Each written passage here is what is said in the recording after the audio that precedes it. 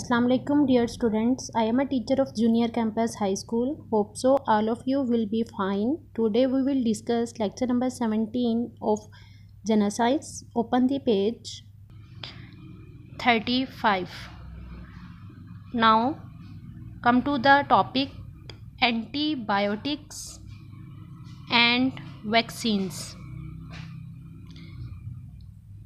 topic को start करने से पहले थोड़े से पॉइंट्स ऐसे हैं जिनको अंडरस्टैंड करना जो है वो आप लोगों के लिए ज़रूरी है।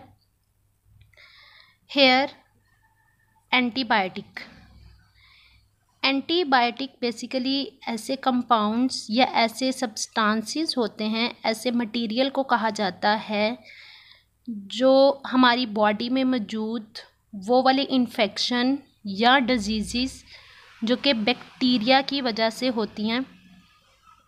उनको कंट्रोल कर सके। बैक्टीरिया को किल करके या फिर बैक्टीरिया की ग्रोथ को स्टॉप करके या बैक्टीरिया के अगेंस्ट जो है, वो वर्क करते हैं तो उन उन कंपाउंड्स को एंटीबायोटिक्स का नेम दिया जाता है।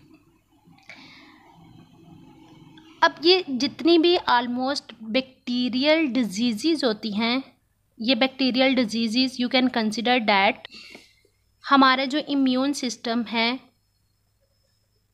वो इन बैक्टीरियल डिज़ीज़ डिज़ीज़ को रिकोगनाइज करता है। अब इम्यून सिस्टम के अंदर जो डिज़ीज़ हैं, जब ये इनको रिकोगनाइज कर लेगा, जो वो वाली डिज़ीज़ जो बैक्टीरिया की वजह से हो रही हैं, ये इम्यून सिस्टम को स्टॉप करना स्टार्ट कर देता है। और उसके ऊपर जो है वो एक प्रेशर जो है वो डालता है। ठीक है? अब ये जो एक इम्यून सिस्टम है, आप इसको कंसिडर कर सकते हो कि हमारी बॉडी का जो कम्प्लेक्स पूरा का पूरा एक सिस्टम है, जिसमें सेल्स ऑर्गन्स टिश्यूज़ वगैरह सारी के सारी चीज़ें आ रही होती हैं। जब ये डिज़ीज़ इम्यून सिस्टम के ऊपर अफेक्ट करेगी तो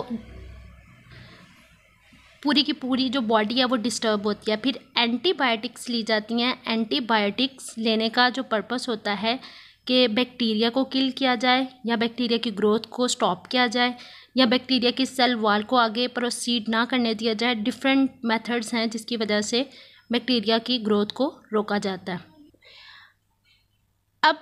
ये वाली जो एंटीबायोटिक्स होती हैं, ये हार्म हार्मलेस होती हैं हमारी बॉडी के लिए और हमारी बॉडी में मौजूद जो डेड लिविंग डेड ऑर्गेनिज़म्स हैं, जिनमें वायरसेस वगैरह मौजूद होते हैं, उनको भी ये नुकसान नहीं पहुंचाते क्योंकि ये वायरसेस जो हैं, ये हमारी बॉडी में अगेंस्ट वैक्सीनेशन या वैक्सीन के लिए काम कर रहे होते हैं।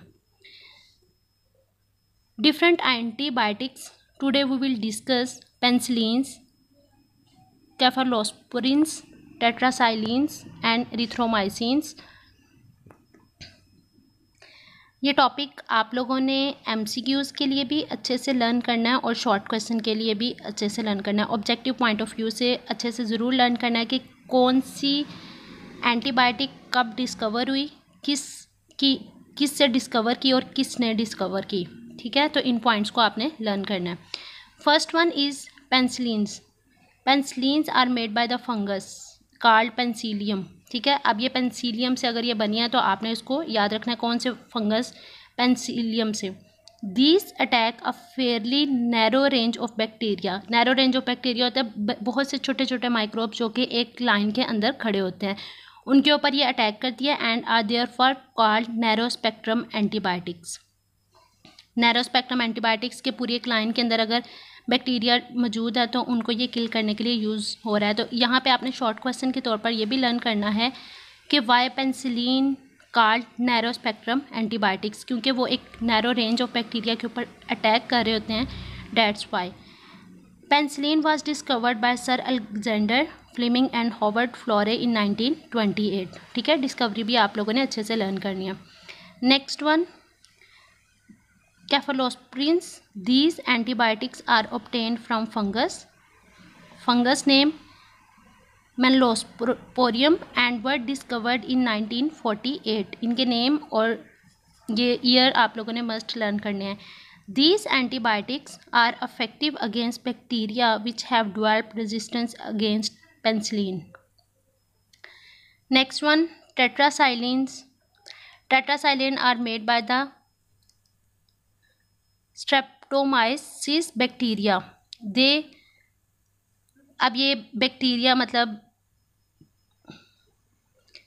जिसके अगेंस्ट मेड बाय द मतलब बैक्टीरिया जो है वो छोटे छोटे माइक्रोब से मिलके बन रही है ना तो उसके नेम को भी आपने लर्न करना है। They are effective against a variety of bacteria hence they are called broad spectrum antibiotics ठीक है? Against a variety of bacteria बहुत ज़्यादा बैक्टीरिया के खिलाफ तो इसलिए इसको ब्रॉड स्पेक्ट्रम एंटीबायोटिक्स कहा जा रहा है। Erythromycin they work against the same type of bacteria which have developed resistance against penicillin antibiotics work in two ways penicillin prevent the bacteria from forming cell wall which makes body immunity system to destroy ये bacteria की cell wall को ही grow नहीं करने देती। Tetracycline on the other hand damage the protein producing machinery of bacterium पूरी की पूरी बॉडी जो है वो बैक्टीरियम की बनने से पहले ही उसको स्टॉप कर देती है। They prevent bacteria from dividing and inhibit their growth vaccines vaccines are harmless form of disease causing microbe that stimulate the immune system अच्छा ये बेसिकली जो वैक्सीन्स हैं ये harmless form of disease causing microbes वो वाले जरासीम जो कि harmless होते हैं, वो किसी भी बॉडी के इम्यून सिस्टम के अंदर उनको इंजेक्ट किया जाता है और वो हार्मलेस होते हैं, वो कोई भी नुकसान नहीं पहुंचाते। जैसे कि अगर वैक्सीनेशन का वो इंजेक्शन लगाते हैं या कोई भी इंजेक्शन लगाया जाता है तो उसके अंदर माइक्रोब्स ऐड होते हैं। अब वो जो माइक्रोब्स होते हैं, जो जरासीम होते हैं, वो बैक्टीरिया हो सकते हैं या वो वायरस हो सकते हैं, लेकिन वो नुकसान नहीं पहुंचाते क्योंकि वो हार्मलेस फॉर्म में के अंदर, की फॉर्म के अंदर उसको इंजेक्ट किया जाता है। फॉर एग्ज़ाम्पल कि वो डेड माइक्रोब्स हो सकते हैं डेड बैक्टीरिया और वायरस वगैरह होते हैं, जिनको किसी भी बॉडी के इम्यून सिस्टम के अंदर इंजेक्ट करवा के उसकी बॉडी को इम्यून किया जाता है। The term vaccine is derived from vacca the Latin for cow vacca से इसको निकाला गया लातीनी ज़बान में, जिसका मतलब था गाय। अब इसके अंदर पीछे भी एक हिस्ट्री ऐड है। वो हिस्ट्री ये है कि जो फ़र्स्ट वैक्सीनेशन थी ना, वो कोपोक्स वायरस के ज़रिए जो है वो उसको तैयार किया गया था। ठीक है? सेवनटीन की दहाई के अंदर के अख्ताम के अंदर in the late The first vaccination against smallpox consisted of copox virus in the late 1700. इस बात के अंदर जो प्रोसेस है वो ये है कि एक साइंटिस्ट जो था वो एडवर्ड जेनर इंग्लिश फिजिशियन था, उसने क्या किया था? वो वाला पर्सन मिल्क मेड उसने मिल्क मेड जो कि ग्वालन थी, उसको कोपॉक्स हुआ हुआ था। ठीक है? कोपॉक्स मतलब छोटे छोटे दाने होते हैं, वो निकले होते हैं। उसने उन कोपॉक्स के दानों के अंदर जो रेशा मौजूद होता है ना, उसको नीडल के ज़रिए किसी बॉय के अंदर जो है वो ऐड किया था। अब ऐड करने पे क्या हुआ था? उसने ये ऑब्ज़र्व किया कि वो वाला पर्सन जिसको कोपॉक्स हुआ हुआ है, उस कोपॉक्स वाले पर्सन से जो इंजेक्ट दूसरे पर्सन के अंदर किया, उसको फिर स्मॉल पॉक्स नहीं हुआ था। अब स्मॉल पॉक्स उसने रेजिस्टेंस शो की थी स्मॉल पॉक्स के अगेंस्ट क्योंकि कोपॉक्स के वायरस ने क्या किया था? उस बॉय के अंदर उसके इम्यून सिस्टम को इम्यून कर दिया था तो उसने रेजिस्टेंस शो की थी, जिसको कोपॉक्स वायरस का इंजेक्शन जो है वो लगाया गया था। फिर उसको जो है वो स्मॉल पॉक्स नहीं हुआ था, क्योंकि उसके ख़िलाफ़ जो है वो रेजिस्टेंस शो कर रहा था। तो इसी बात को यहाँ पे जो है वो डिस्कस किया गया था। The first vaccine against small pox consisted of cowpox virus in the late seventeen hundred seventeen centuries as Edward Jenner an English physician learn from his patient that people who had contacted cowpox जिसको cowpox था were resistant to subsequent small pox उसने, उसको small pox नहीं हुआ था, क्योंकि cowpox virus का injection लगाने की वजह से स्मॉल पॉक्स नहीं हुआ, क्योंकि स्मॉल पॉक्स की स्मॉल पॉक्स से उसने रेजिस्टेंस शो की थी और रेजिस्टेंस जो है वो इंजेक्शन की वजह से थी, जो कि वैक्सीनेशन की फॉर्म के अंदर उस पर्सन को लगाई गई थी। इन्फेक्शन इन 1796 जेनर स्क्रैच्ड ये फर्दर प्रोसेस जो उसने किया था, जिसकी वजह से ऊपर का रिज़ल्ट जो है वो उसको मिला था। Jenner scratch a form boy with needle bearing fluid from a sore sore कहते हैं, जख्म को of a milk maid who has cowpox When the boy was later exposed to smallpox, he resisted the disease.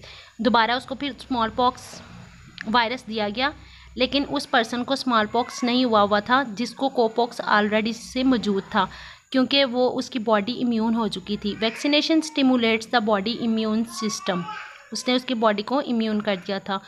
Hope so you will understand it very well stay home stay safe take care अल्लाह हाफिज़।